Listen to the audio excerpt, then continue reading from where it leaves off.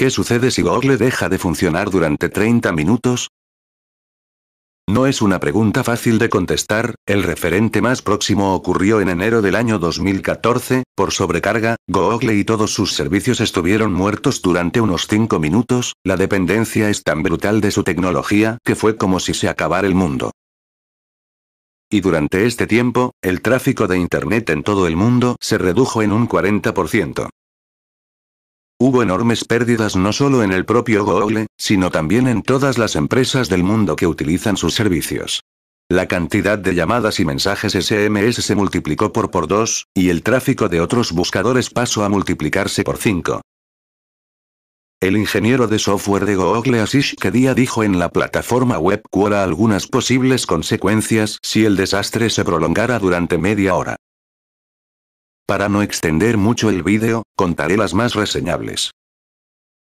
Ya ustedes si les interesa el tema pueden buscar más información sobre lo que dijo este técnico.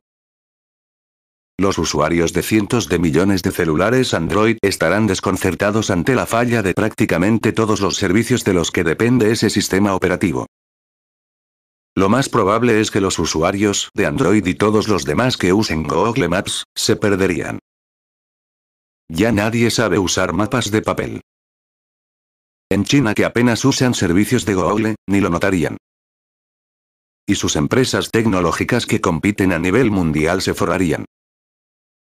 Al tratarse de media hora, sería solventable para la economía pero grandes empresas perderían millones, ya que utilizan diariamente Mail, Calendar, Drive y no podrían operar.